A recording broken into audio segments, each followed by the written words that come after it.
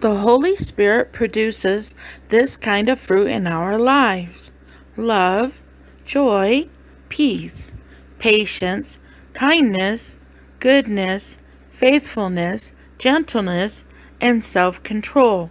Galatians 5 22 to 23.